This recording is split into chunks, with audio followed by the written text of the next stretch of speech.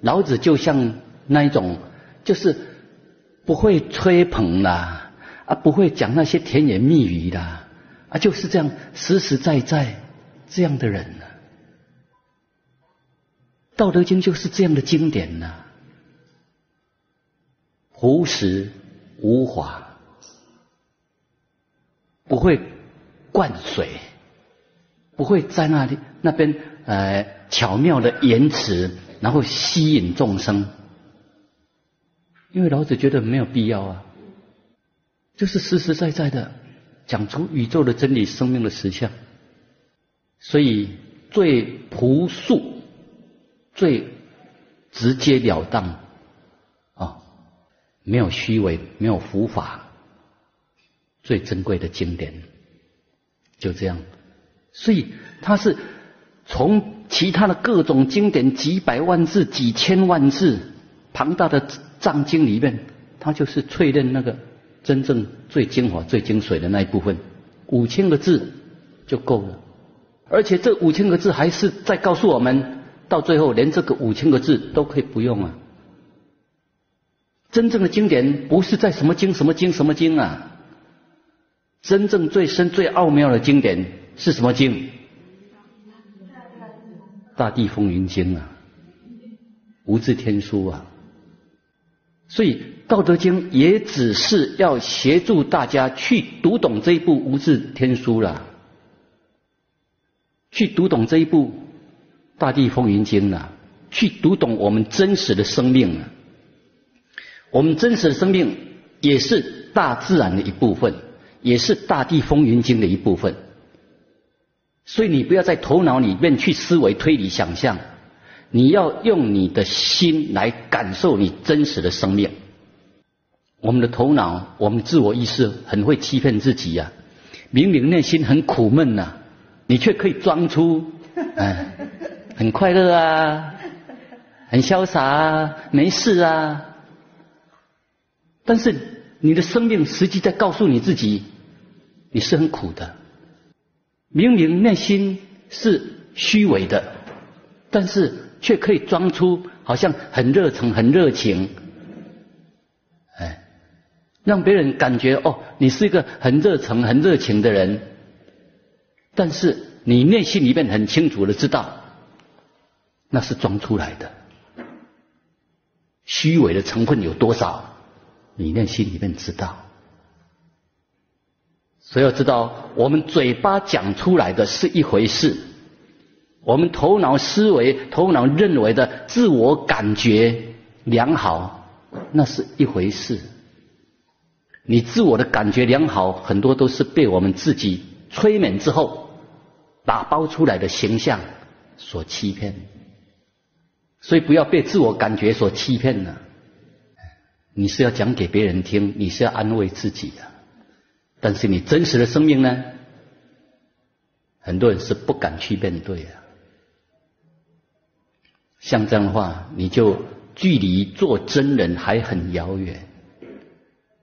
什么时候我们才能够真的愿意回来如实面对自己，做个真人？不要欺骗别人。不要欺骗自己，不要把自己打扮的、打包的漂漂亮亮，明明内心有很多的问题，那我们却打包成没问题，我都很好啊！真的啊，很多人他都觉得他没什么问题，哎，但是你的脸一看，你都很清楚的告诉我，你内心是什么样的世界，所以真不真实？一看就知道，你的言行举止都在告诉我真不真实。哦，所以希望大家能够来到真诚真心，宁愿真的丑，不要假的美。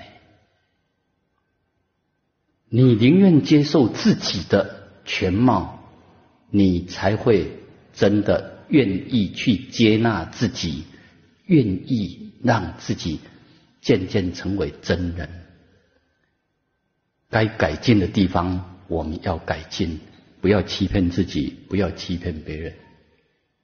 道德经就是希望我们返璞归真，做个真人。而做个真人，你去跟某某人学习，某某人学习，你有时候就会来到，哎，他有优优点，但是我看到很多的缺点呢。他有我想看到，但是也有很多我不想看到的。啊所谓人无完人啊，人非圣贤，人无完人。在，因为一般人所要看到的是。他内心所要的那一种十全十美的那一种，哎，打包好的形象，所谓的完美主义，很多人要看的、要找的是那一种他认为的理想，而那是一种所谓的完美主义啊，他不是要接受真实的生命。像这样的话，如果你自己没有调整过的话，你看到的，你找到的，你认为是好的、理想的，往往它是做给你看的，它不是真实的。真实的生命，它是完整的呈现，不是你所要的完美。大自然是很真实的呈现，大自然不会欺骗我们，动物。不会欺骗我们，动物都是很真实的存在，很真实的呈现。只有人类会做很多的虚伪，会欺骗自己，欺骗别人。我从以前到现在，从没从来没有遇过一只狗会欺骗我。真的，我遇对我遇见过很多狗啊，但是他们对我都很真实啊。从来没有一只狗，它会欺骗我。从来没有一只狗说在我前面呃讨好，或是嗯呃说一番很好听的话，或是很巴结，然后背后就在那里批评批判。从来没有一只狗是这样啊，都是真实的。所以人如果会做那种虚伪的，表面在你前面讲一番话，然后在背后讲一番话，再批评批判。像这样的心灵跟狗比起来，你自己去比看看。所以动物它们都是很真实的。人你要来到跟真理实相相应，记得一定要练习做真人。本来加这两个字“练习”这两个字实在可以不必，但因为人习惯。对不起，我说比较真实的话啊。人习惯从小就被灌输成你要戴着面具。本来小孩子都是很真实的，小孩子他们都很纯真呐。但是在这个过程，慢慢的被社会的各种各方面的观念教育啊，然后逐渐的大人给他们种种观念，让小孩子渐渐的失去他的纯真。所以就变成要层层的打包打包自己，然后让那个真实天真快乐的本心本性呢，逐渐逐渐的丧失丧失掉。越大快乐就越少，那是我们纯真的本心本性逐渐的沦丧啊。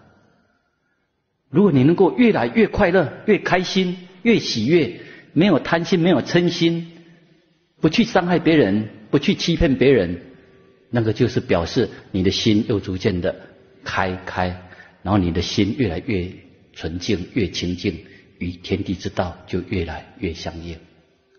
所以，我们真的要问我们自己：我们真的快乐吗？真的安心吗？我是个真实的人吗？真的，我们要问我们自己。有的人他就认为，好，我要做个真实的人，然后我要做我生命的主人，那结果变成怎么样？很任性，很放纵，那个根本不了解什么叫做真实的人。他只是从一端压抑自己，哎，做虚假，压抑自己。